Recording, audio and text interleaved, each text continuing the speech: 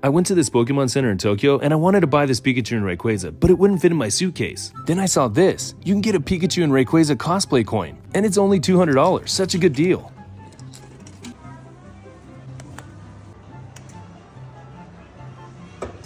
Why are these so satisfying? Look at this cute Pikachu coin. Oh no, now you have to like and subscribe or he'll be sad.